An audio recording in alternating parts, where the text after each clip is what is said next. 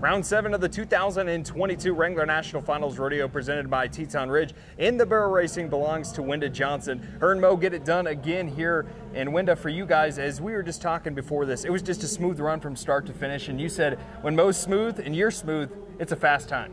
Absolutely, and that's one thing I definitely strive to to help him just be smooth and easy. The less I can do, the better off. Especially we just get to our points. I felt like we came into our first um, just really, really well get, got in, in there. He was a little tentative after, you know, the, the ice skating ground on round three was pretty challenging for him. That's yeah. something he hasn't experienced yet.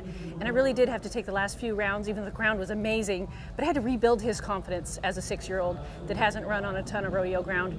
And, you know, and it's okay. Look at the progression. Mm-hmm. He built some confidence. Right now, tonight, kind of right, went, went right into his spot, into one, which set us up for the rest of the run. You mentioned that a little bit. You get a little bit towards the, the top of the ground tonight. You move up just a little bit. Do you think that makes a, a, ton of difference, or is it just you know that just a slight difference can make a ton of difference? Absolutely, there, there's no doubt being on top of the ground is an advantage. But I will, I, have got to give a huge shout out to the ground crew because the last two three nights um, from five five, six, five and six was amazing. Yeah. The ground they were were pulling checks on mm-hmm. the end of the on the bottom of the ground. So, um, but there still is a, a bit better advantage being top of the ground. Yeah. So we take a look now at the next couple of days. We've got three more rounds left to go. Obviously, focuses on the the round that's in front of you. What type of mentality do you carry into these next couple of rounds? You know, it's the same approach I have. It's it's really that night and what the horse I'm riding needs that night. So it's uh, the biggest focus, and really I don't stray much from that.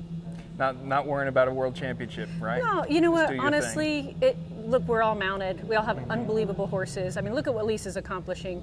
Exactly. She's she's just climbing and doing amazing. Her horse is working so well, and um, it, the thing is, is we do have ten rounds, and you just yep. have to keep doing your best, and it could be anybody's game. And I and I hope that we stick in there. And the biggest thing is getting to our spots and making smooth, clean runs. Well, we hope to see more of it from you and Mo. Congratulations, Wenda. There it is. Wenda Johnson wins round number seven in the barrel racing at the 2022 Wrangler National Finals Rodeo presented by Teton Ridge.